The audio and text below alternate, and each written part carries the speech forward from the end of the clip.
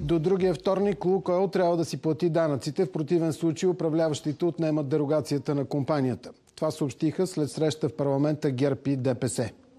Рафинерията трябва да плати и такси над милиард лева, а всичките средства ще се използват за компенсация на гражданите на бензиностанциите. Лукойл, както не искаха да си плащат данъците, са заявили вчера пред шефа на кабинета на премиера, че ще си платят над 500 милиона данъци, които се опитаха да скрият от българските граждани. Ние заявяваме, че ако това не се случи, ще си внесеме проекта за 7-те дена и ще отнееме дерогацията на Лукойл. Нека и Лукойл да ни чуят ясно в това. Да не мислят, че няма си плащат данъците в България. Имаме уверението, че след преодоляването на ветото ще започнат веднага да изпълняват закона и ще започнат да дават компенсации на хората. Най-важното е за хората да има компенсации.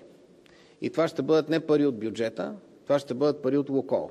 Тоест ние ще вземем от Лукол милиарди, ако си спазят обещанието, разбира се, от кабинета, защото ние сме законодателна власт, ние не управляваме процесите в тази държава. Ще вземем от Лукол 1 милиард, натрупана сума до сега, и тези, и тези средства ще бъдат дадени на хората като компенсации за горивата. Така горивото на бензиностациите няма да струва 3 лева, а след компенсация ще струва 2 лева, 2 лева и стотинки.